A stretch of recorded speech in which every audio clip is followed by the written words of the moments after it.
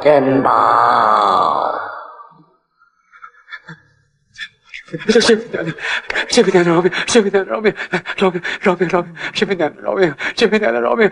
传闻《夜盗真飞墓》这部电影刚刚上映的时候，曾直接吓死过人。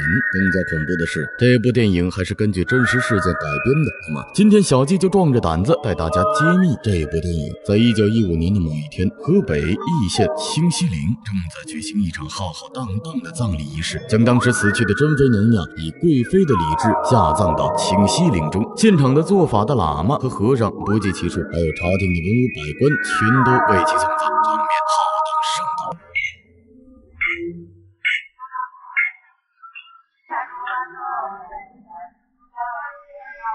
场面浩荡盛大。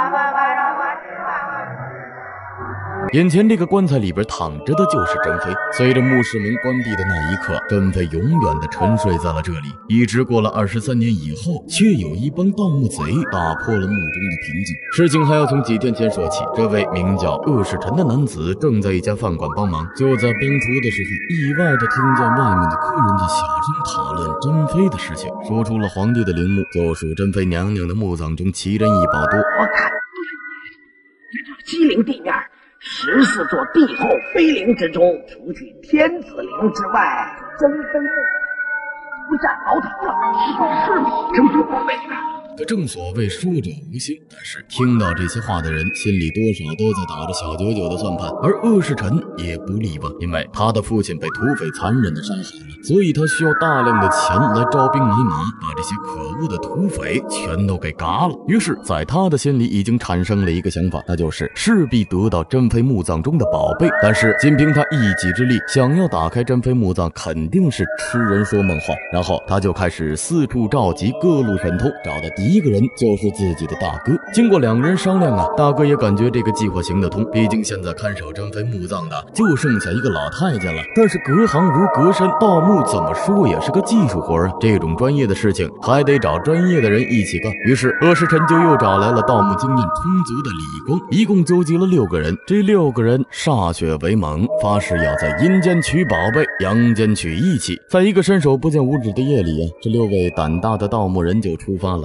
到了地方，就把守墓的老太监给吓坏了，只能乖乖的把墓葬的门打开。进去以后，有经验的李光凭借着丈量法，很快就找到了墓室所在的位置。但是皇家墓室那可不是普通的墓室，墓葬异常的坚硬，几个人拿洛阳铲疯狂的铲，却丝毫没有动静啊！一行人一看，这不行啊，再这么拖下去，肯定被官兵发现。最后直接使用炸药把墓葬炸开了。当他们推开墓门的那一刻，一具血红色的棺材呈现在他们眼前。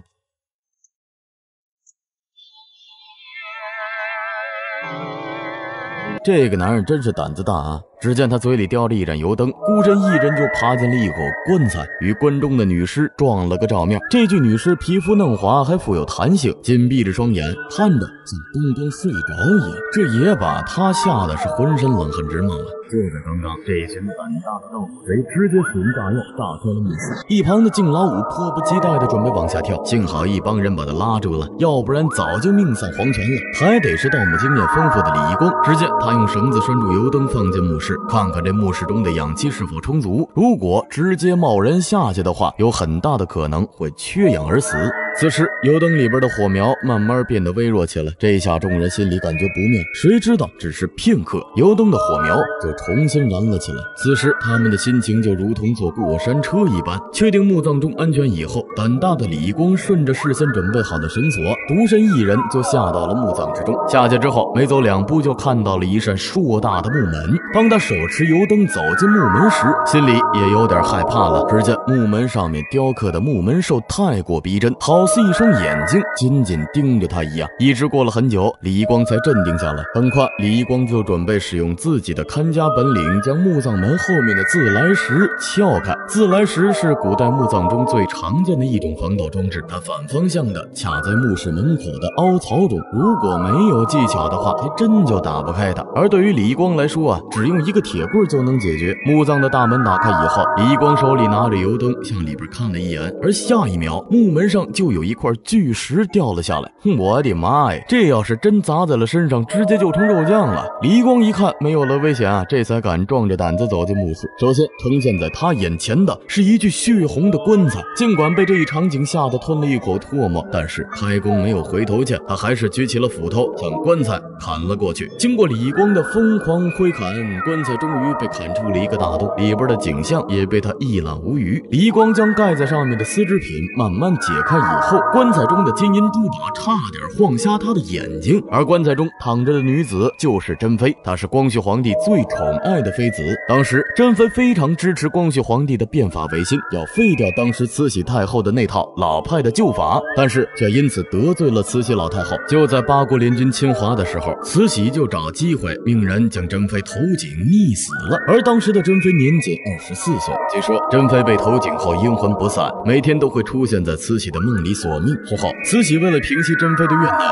这才把井中的珍妃打捞出了厚葬，而这厚葬的陵墓就是举世闻名的清西陵。光绪皇帝更是把自己心爱的女人珍妃生前所有喜欢的东西全部陪葬在他的墓葬之中。看着眼花缭乱的金银珠宝，李一光终于斗胆伸出了自己颤颤巍巍的双手，动作十分谨慎，生怕把沉睡的珍妃吵醒。将珍妃身边的凤冠和宝盒全部都装进包里之后，李一光又将目光看向了珍妃手上闪闪发亮的玉。玉手镯，还有翡翠戒指，他一个都不放过。然而李光接下来的举动更是让人吓得腿软。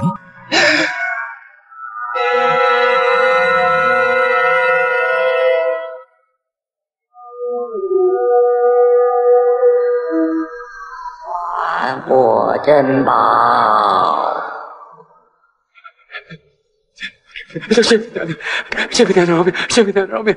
饶命！饶命！饶命！这位娘娘饶命！这位娘娘饶命！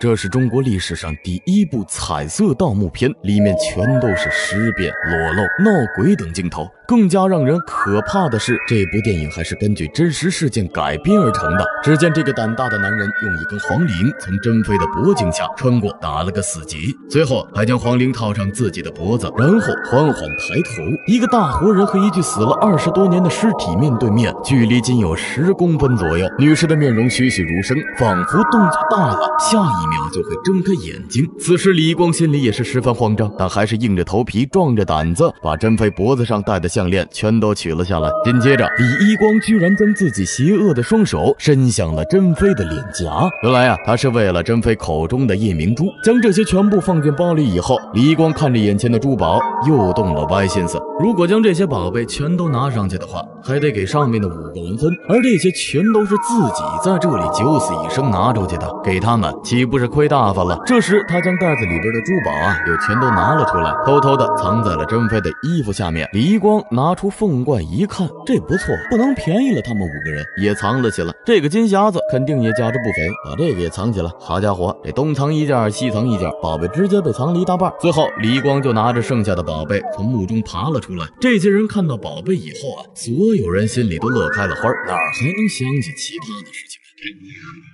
这下他妈发了！他们还没来得及清点，陵园里就有人冲了进来。六个人看到，赶紧拿着宝贝从后门溜了。回到家中以后，几个人就开始商量怎么分赃。此时，每个人都目不转睛地盯着这些珠宝，这其中随便拿出来一件，就足够他们这辈子花的了。关大哥数了数珠宝，这次一共拿出来六十一件。刚开始分赃的时候还挺和谐，可是分到最后，剩下了一个大金饼，单独给谁都不怎么合适。因为这件宝贝，这六个歃血为盟。的人差点打了起来，全部都忘了当时立下的誓言。好在众人都想了一个好办法，把这枚金饼啊劈成六块，分给每一个人，这件事情才算过去。到了第二天深夜以后，李光一个人独身回了墓葬，准备将他事先藏好的宝贝给拿出来。但是刚准备拿的时候，可不得了了！珍妃昨天还鲜嫩无比的面容，今天已经开始慢慢腐了。李光一看不妙，拿着宝贝赶紧拔腿就跑，谁知道后面的珍妃突然坐了起来，李光吓得。扑通，就直接跪倒在了地上。由于视频有点长，我们下期接着唠。